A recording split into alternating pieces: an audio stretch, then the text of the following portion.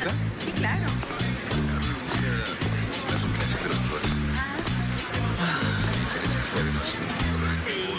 Hija, ¿por qué esa ropa?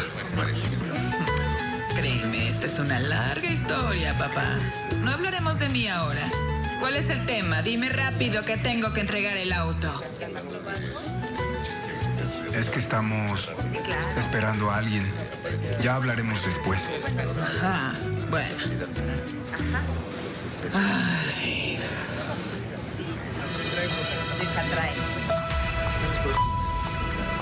Vete, ¿qué estás haciendo?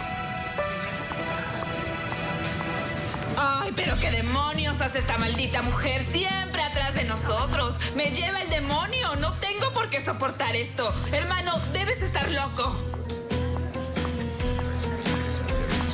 Eh, mi amor, ¿Por qué le dice mi amor? Mejor me voy de aquí. Burku, por favor, primero escucha a tu hermano, ¿sí?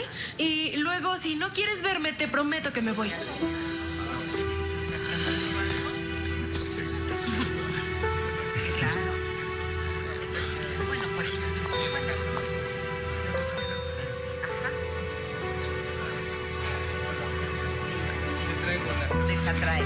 Nosotros, Seime y yo estamos juntos de nuevo. Y esta vez es en serio.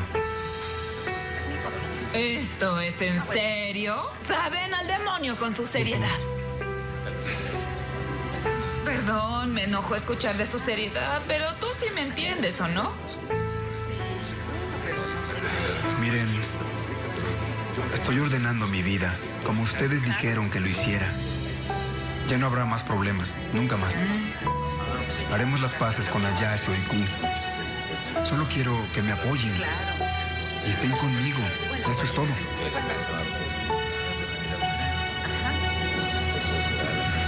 Bueno, quiero ser justo contigo. Después de todo lo que hemos vivido ahora,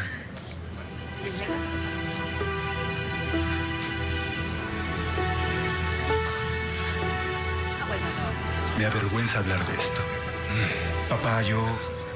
Yo ya me olvidé de todo.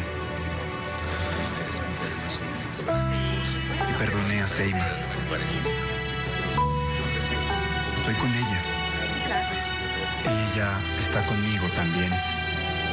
Para siempre.